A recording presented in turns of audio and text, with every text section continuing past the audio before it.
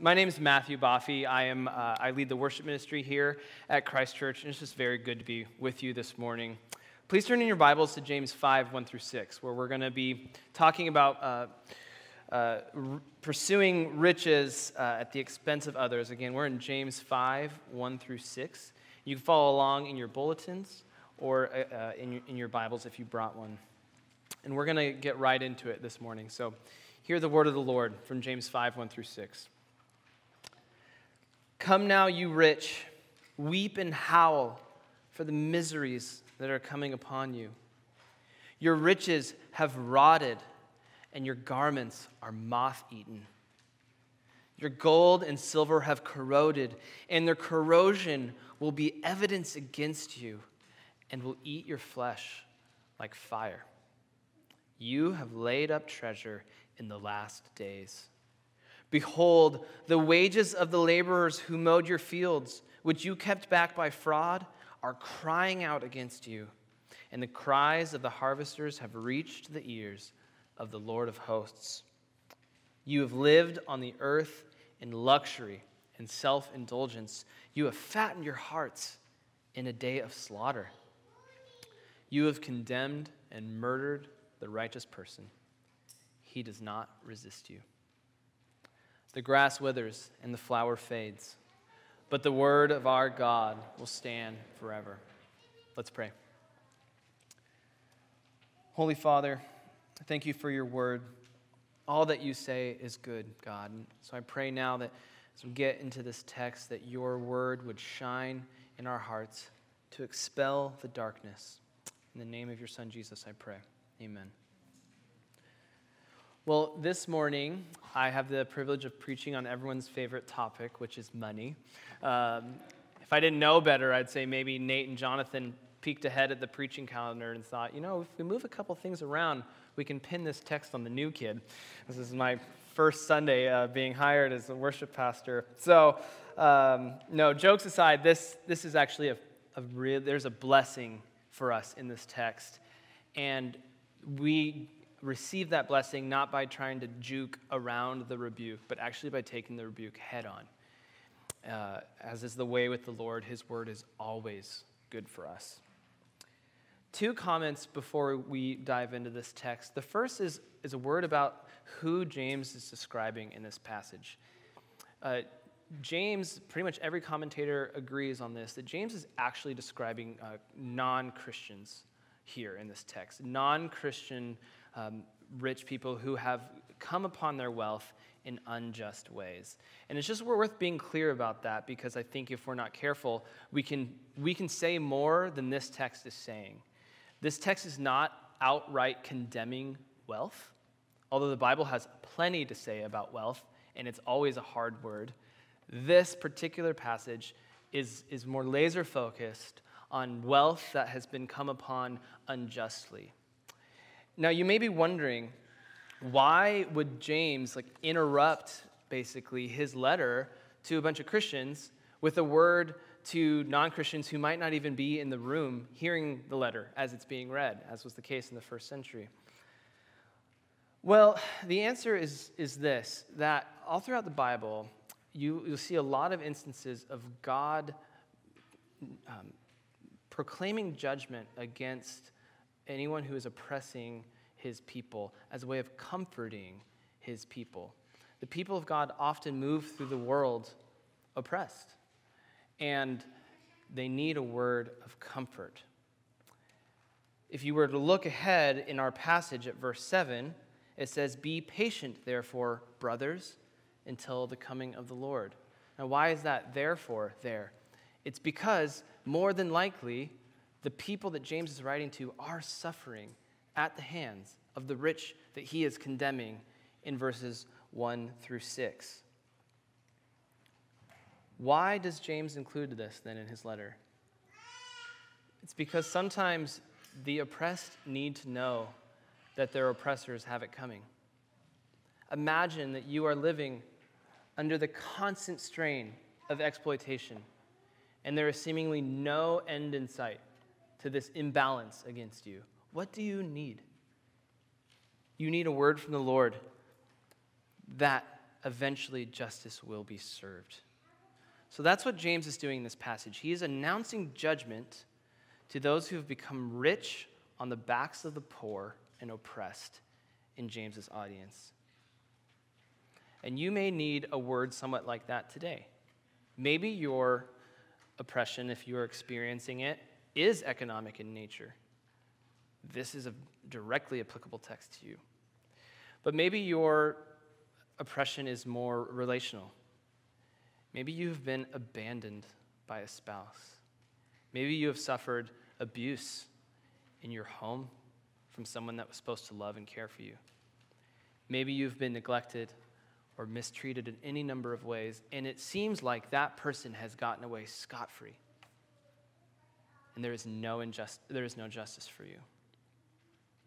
This is a word for you this morning that God sees all injustices and brings all injustices to account. So, all of that said, even though this, the people James is describing here are the rich non Christians who are oppressing poor Christians, that said, any Christian can learn from the rebuke that we have here. If these are the crimes that are being named among rich unbelievers, how much more should they never, ever be named among God's people, among the redeemed, among those renewed in the image of Christ? It's a sermon for another time how Christians should handle money, so I'm not going to try and shoehorn a second sermon into this sermon. But I would be remiss if I didn't at least underscore from this text that a passage like this should deeply unseat our confidence in riches. It is very hard, I would say impossible, to get through the Bible and not understand that there are severe warnings attached to riches, whether justly gained or unjustly gained. We see here how vaporous even the biggest pile of wealth is, and how powerful wealth is to lead us into evil. And so, with that word of, of caution, I invite us to one, receive consolation from this text that God sees injustices and punishes them. And secondly, to receive a rebuke. That if any of these crimes are being named, that are being named, are found among us, that we should take them seriously. Well, let's get into, into the text. I'm calling this sermon uh, The Filthy Rich on Trial. And by filthy rich, I don't mean people who have tons of money. I mean people who have come upon their riches in filthy ways, in the ways described in this text, with dirty hands, unjustly. And here's how we're going to move through the text. The first part is the filthy rich respond to their punishment. The filthy rich respond to their punishment. The second part is the filthy rich receive their punishment. The filthy rich receive their punishment. And then lastly, the filthy rich earn their punishment. The filthy rich earn their punishment. You know, initially I had this sermon titled Four Crimes of the Filthy Rich because the bulk of the text is describing what these rich oppressors have done. And there's all this evidence language. And so, you know, I picture this courtroom. But then I noticed something fascinating. The courtroom procedure, as we typically know it, is actually inverted in this passage. Usually, any courtroom, you see the evidence come forth, and then after the evidence has been weighed, there's a verdict given. And then you see the response of the defendant. Well, here, God calls first for the, for the defendant to respond to the punishment that's coming upon them. Secondly, he describes what that punishment is. And then after that are the crimes enumerated. And I think that that inversion of the process goes to underscore how definite God's judgment is. God knows these crimes backwards and forward, and the verdict has already been meted out. So, with that, let's look at the first section. The filthy rich respond to their punishment. Look down at verse 1 with me. This language is very strong. Says, Come now, you rich, weep and howl for the miseries that are coming upon you. One translator renders it, burst into weeping, howling with grief. That is strong language. A few years ago, I stumbled upon a video of a young man receiving a, a pretty severe sentence for a, a heinous crime that he had committed. And I'll never forget the absolute sorrow in his face as he was receiving the words from the judge. Leading up to the verdict, as the judge was kind of winding up, you see the man starting to shake his head. He just can't believe what's coming. And in those words, the word guilty hits. And immediately, the young man cries out, He's no! And he's shaking his head, and he's, he begins shaking so violently that he actually falls onto the ground in the courtroom. He is completely undone. If the rich in this passage knew the miseries that were coming upon them, they would respond more severely, more dramatically than that. It is the pride of the rich that they do not consider how easily they can be undone. The world is weighted in their favor. They are not accustomed to weakness. In fact, they actually usually laugh at threats. But a text like this shows us that their laughing should be turned into mourning and even more into weeping. The irony is that the rich, who in this life are almost invincible, are under God's judgment more vulnerable than the poor. Weep and howl for the miseries that are coming upon you. God's scales are not weighted. Well, what are these miseries, these punishments that deserve such a response? We see those in the second part of our text. Look down at verse 2 with me. It says, Your riches have rotted, and your garments are moth eaten. Your gold and silver have corroded, and their corrosion will be evidence against you and will eat your flesh like fire. James is describing the future of the rich in present circumstances. He is trying to shake them out of their dream that they are safe and to bring them into a waking nightmare of the actual reality of their lives. We've probably all known the relief of waking up from a bad, bad dream.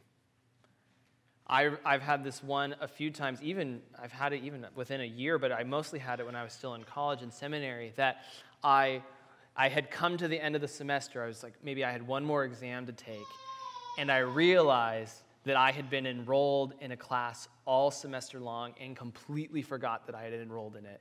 I didn't go to a single lecture, I didn't do a single assignment, I didn't take a single test, and now the, the exam is an hour away, and I, there is nothing I can do. I am I'm absolutely going to fail the class. Even waking up from a dream like that was a relief.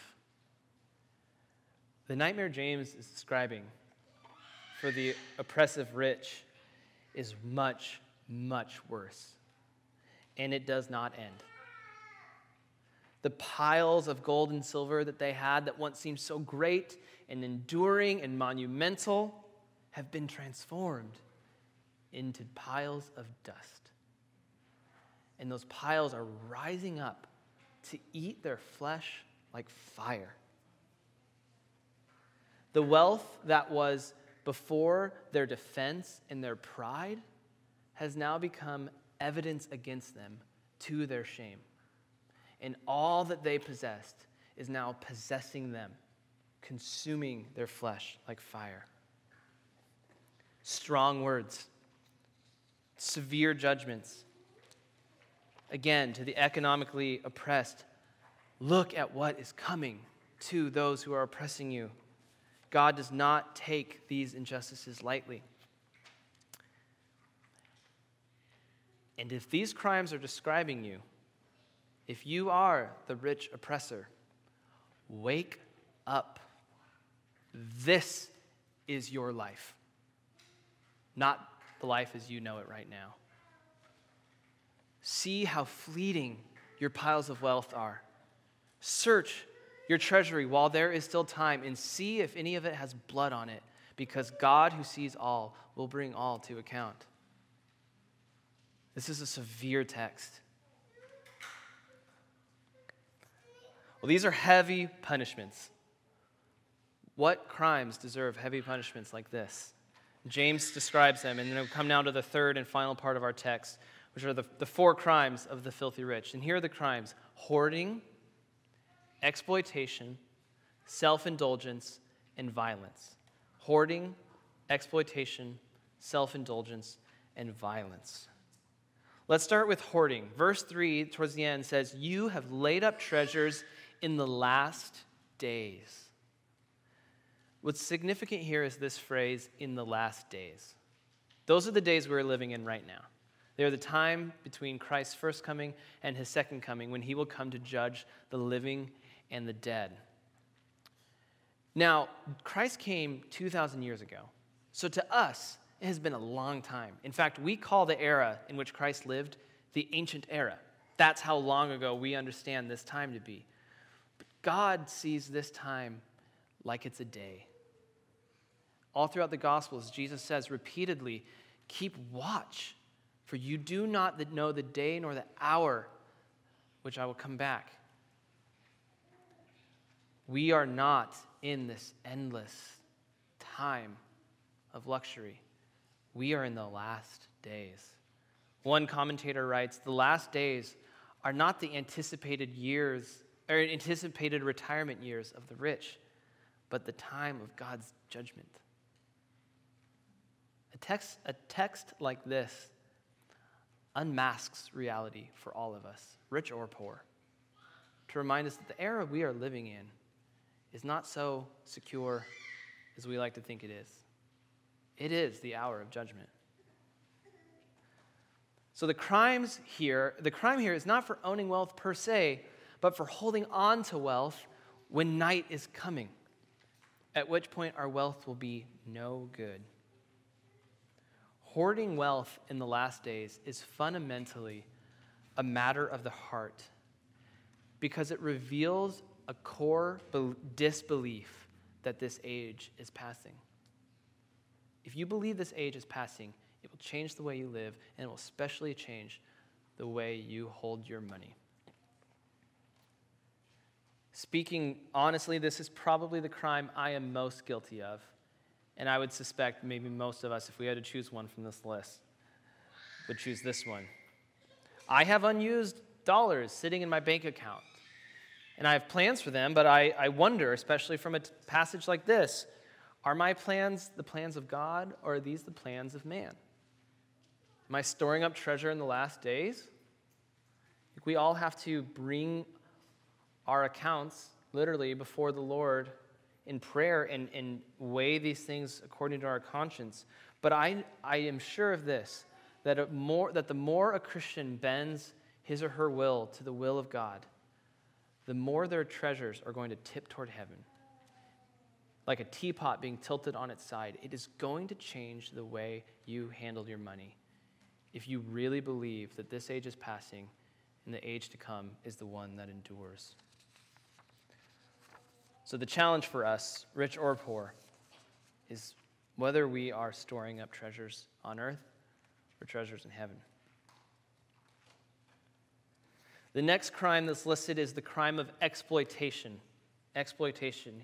He says in verse 5 Behold, the wages of the laborers who mowed your fields, which you have kept back by fraud, are crying out against you and the cries of the harvesters have reached the ears of the Lord of hosts.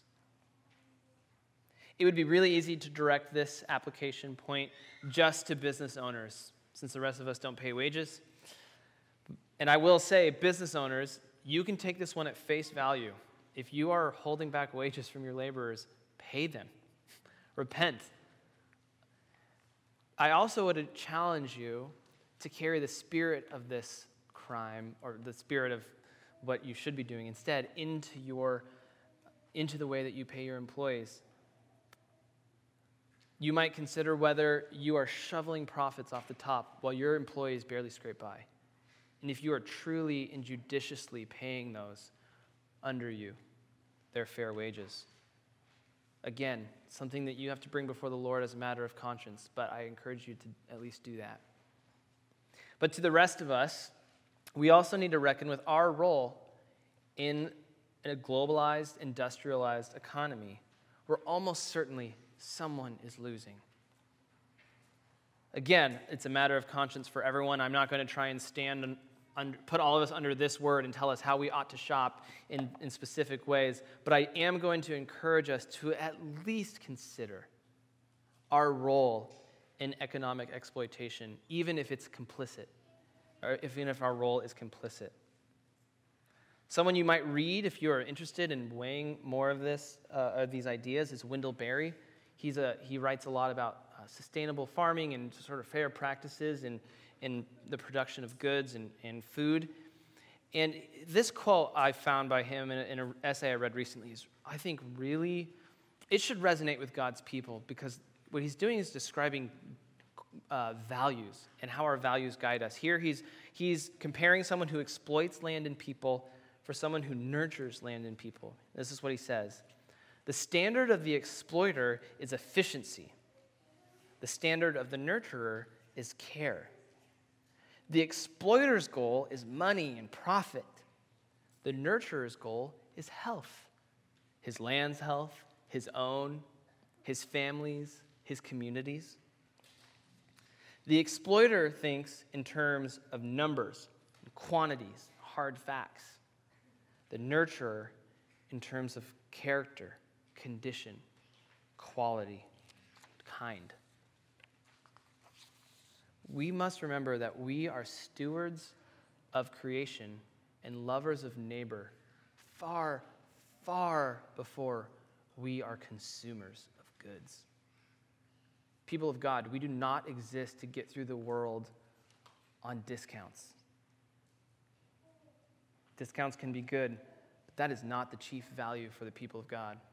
The chief value of the people of God is care for his image bearers and care for his land.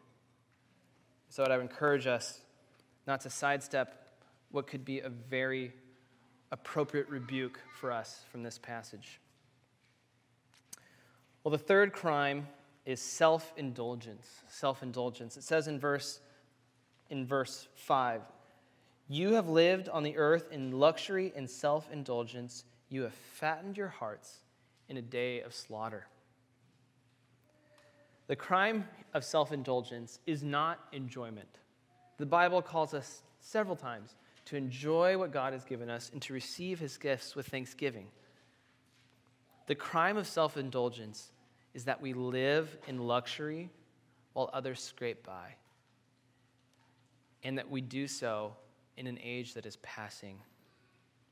When we live this way, we fatten ourselves for our own slaughter. That's the language here. The language here is, is slaughter language. Which cow gets chosen for the chopping block, for the feast? The fat one, the one that gorged itself. The question for us is are we living like in, in terms of money like fat cows in a day of slaughter. It's really easy, you know, to see aerial shots of celebrity mansions and go, oh, look how luxuriously, that is so lavish. Think of all the good they could be doing with that money. We are always comparing ourselves to someone richer to justify our own luxury. It is of no concern to me how luxuriously Beyonce lives. It is of no concern to me even how luxuriously any of you live. God's not going to compare me to you guys. That's not the question. The question is very simple Do I have an extra coat I can give away? Am I content with my excess in the face of somebody else's desperation? Or, more positively, what joy can I gain by sharing in the generosity of Christ, in divesting of luxury for the sake of others? Again, the lie here is that the wealth that we have on earth is true and lasting. It is a lie. If we are wise, we will see that it's the treasures in heaven we ought to be seeking and that if we're not seeking those, it's because there's an idol in our heart that needs to die. It's hard to put away money because money is status, and status is comfort. So I would call us to bring our hearts before the Lord and ask Him what we really want. Well, we come to our last crime, which is the crime of violence. It says in verse 6 You have condemned and murdered the righteous person. He does not resist you. You know, this one can sort of seem like a bit of a tack on. You know, where did violence and murder come from? Until you realize that these crimes are all interconnected. One feeds into the next, which is often the case. Things are not so simple and cut and dry. As the hoarder searches for ungathered wealth, where does he find it? In the wages of his laborers. And what does he do with those stolen wages? He increases his luxury and self indulgence. And what happens to the laborer deprived of those wages? He falls into want. He can't pay his debts and his taxes, and he lands himself in prison where he might even die. Someone has to pay the economic toll of the abuses of the rich. That person is the poor. Thus, even the imprisonment and, the, and death of the poor in this passage is on the hands of the rich. So, what do we do with this very heavy word for the rich oppressor? I'd call us to three things. The first is this, and it's for the poor especially rejoice that you have a just king who will by no means clear the guilty except by his own blood. Many of you are living under the strain of economic injustice or other kinds of injustice and oppression and abuse. I want you to hear very clearly this morning your God is the God of Israel who redeemed them as slaves from the hand of Pharaoh. And he lured Pharaoh into the desert and drowned him. He literally opened up an ocean and swallowed Pharaoh in it. He will by no means clear the guilty. God sees, God hears, God reaches out his hand. There is a promise here for you that He will do the same for you. The second application is for those on the other side, those who are oppressive in their pursuit of wealth. If you are the rich abusing the poor, repent. Repent while there is still time. It may be that God has graciously put you in this room to hear from this passage the miseries that will come upon you if you do not repent. But there is a promise of salvation for you that if you do, Christ forgives you and cleanses you by his blood. The third point, and this is good news for the rich and the poor, is that in Christ all the riches of heaven are ours. In the gospel, God has turned the world economy on its head. Blessed are the poor, for they will inherit the earth. And earlier in James, he says, Let the lowly brother exalt, boast in his exaltation, and the rich in his humiliation, because like a flower of the grass, he will pass away. So, to those of you who are poor, see the treasures of heaven flood into your account. You are richer than you could possibly imagine. And to the rich, behold a similar mercy. He has made your wealth nothing. You are poorer than you could possibly imagine if you have all the riches of the world. It may be that God has mercifully shown you that your treasures are in Him so that you do not live the tragedy of seeking an entire life of riches only to see it wash away and be evidence against you. Paul says in Ephesians of Christ, In him we have redemption through his blood, the forgiveness of our trespasses, according to the riches of his grace, which he lavished upon us. So here is your wealth, church, that you have Jesus Christ, the Son of God as judge, as advocate, as defender, and as benefactor. You have it all in Jesus. So you can be released from the grip of wealth, you can be released from the lie of riches, and you can even be released of the burden of oppression because a day is coming when Christ will make right all that has been made wrong. Let's pray. Father, we thank you for your word. We thank you, Lord, that there is blessing for us in it, in rebuke and in consolation. Lord, make us wise. Let us not be fools. Lord, we are enlightened with the gospel of Jesus Christ. Help us to live that way in the way we handle our money, in the way we look to you in the, in the face of oppression. We pray all this in the name of your Son, Jesus. Amen.